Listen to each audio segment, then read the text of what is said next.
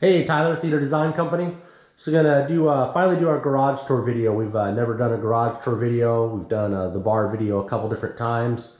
So what I'm gonna do is uh, walk down through the bar, uh, zip over to one of the other area where we collect some car stuff, and then I'll do the garage tour. So uh, kind of a fun new video. Um, obviously our channel's focused 100% on theater stuff, but we'll do a garage tour and go from there. So walking into our uh, our bar. This is our demo room. So obviously it's obviously automotive themed.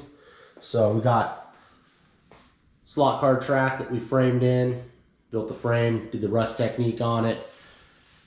Got some kind of old, uh, you know, garage style lights. Got the big garage lighted sign that I built. Then we got all our model cars. So everything's 1 18th scale. Got these in some Ikea cabinets we picked up in California on one of our trips down there. Gonna go through all the cars here.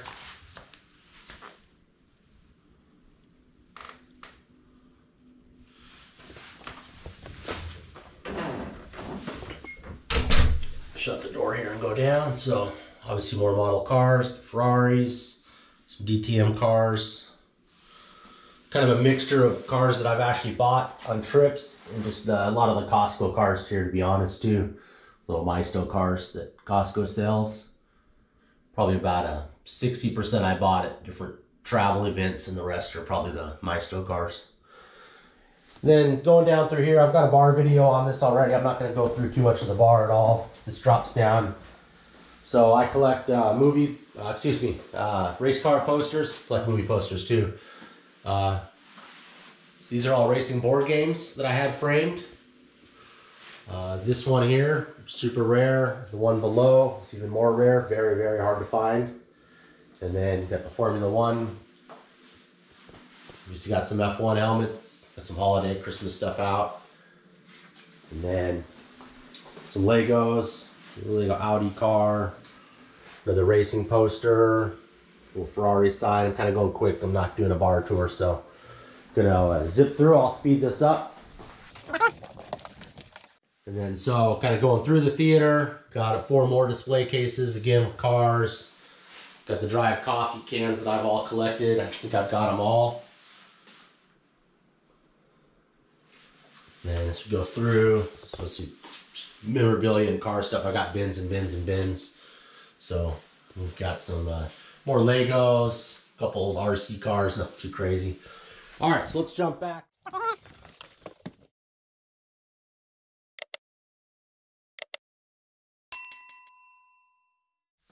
Okay, I'll stop here real quick, just kind of go over this. Uh, this I envision this from the bar to be able to kind of sit here and have drinks and then look out at the cars.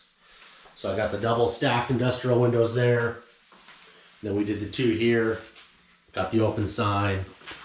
And then, all right, let's get into the garage tour here. So I'll go relatively quick. I do have some links in the bottom if there's anything you want to see. There's nothing too crazy here, but I might have some stuff that's uh, of interest.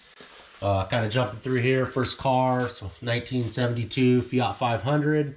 It's my uh, wife's car. It's pretty much fully restored.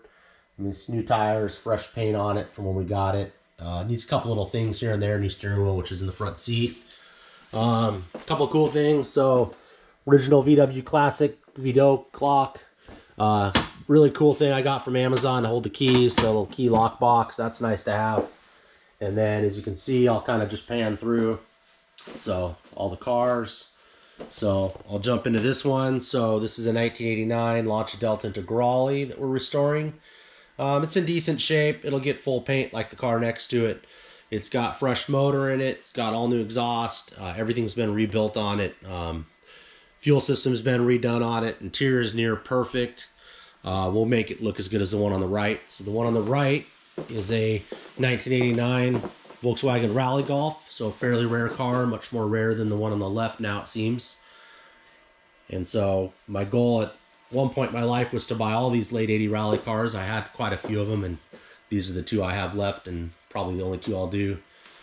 So got some uh, lighted signs here. So large Agip sign, the Magneti sign, got the Michelin sign, and of course you can look above, tons of technology. So we've got our uh, network rack sitting in that cabinet. That runs through all this fiber and all these Cat 6 and coax and speaker to the other side of the home. Uh, service panels for electrical, panels for the uh, low voltage lighting, so on, everything through here. Gonna have to build some sort of false panel for a hot water heater. Maybe do a couple stack tankless heaters to get some more room, but for now. And then as you can see, I was also trying to envision if you're out here in the garage, you're kind of looking into a business or a bar. So I got the open sign, again, the industrial windows, got all the uh, flooring in here, the front of the car. Obviously the Fiat 500 is not for sale. One of our friends put that on there, messed with my wife. And then car-wise, the Ferrari 360, it's a 2000. Just uh, pretty stock overall. Some Morimoto uh, tail lights that everybody's putting on. 19 inch Chown wheels. It's a pretty cool color combo. So Grigio alloy, and from what I've told, is fairly rare color for these. Um, I like the color combo. It's one of my favorite. There's the challenge wheels. And then, as you can see, a lot more signs. So we got a kind of a Griot's garage section here. They're not too far from us. Uh, I believe the owner, actually, Richard, lives not too far from me as well, right on the lake. And then side mount garage door opener, insulated garage door, uh, drop down light from Snap-on, uh, some wall control, rest is Griot's, little Adams garage to hold a few things. Uh, this little cabinet here, this was just an IKEA cabinet. We had made some stickers for, had someone make some stickers for some wash buckets, uh, light of Griot's garage sign I got to put up. And then we've got our uh, all our kind of our I guess eBay signs. There's no real ones across the top there; those are all fake. Uh, but we do have the real signs. The Shell sign is real. Champion sign's real. The NGK sign is real. It's kind of a cool cabinet. Got some dolly casters. That's to move the cars out. As you can see, it's pretty tight profile in here. So we got the uh, I got some Abarth wheels under there. Got some Ferrari wheels under there. And then some extra parts. So painted stress bar for the Rally, rear stress bar for the Lancia, spare tire for our Alfa. Um, then some model cars. So I've got all of the Technics. Um, I actually have all the Technic large scale cars, including the F1s. I just bought the Silver Arrow a couple days ago. Uh, more memorabilia, so some AGIP stuff. Uh, little minifigs, street signs, those miscellaneous actually stuff I'm working on for projects. Um, car lenses, more board games, uh, license plates, lots of license plates. I used to own a company that did stamp license plates. And then a little more signage, and then kind of zipping around. Got the lighted Michelin sign. We've got some posters that I haven't put up yet. And then there, so then let's walk into the shop here. It's the flooring, throughout the whole place is like this. So we got all the Sabre cabinets that we built in here. So we got our server equipment, or network equipment, I should say. Relatively tidy for an installer that comes home. They usually don't have really clean stuff, but mine's all right. Uh, cabinets, little workbench, computer monitor, uh, little soldering station with some tech tools, solder, uh, more collectibles. You just see bins of collectibles everywhere. Um, all these bins have collectibles. Uh, these have car parts, A Abarth, Lancia, so on. Um, all the red ones, I believe, are Hot Wheels. And then we've got couple things we bought on eBay. So, thing to hold just the basic Milwaukee tools, wall control panels, stainless top, and then we had trace our space, do all our drawers. So that's pretty nice feature. So, you know, for example, electrical tools, uh, geez, specialty tools.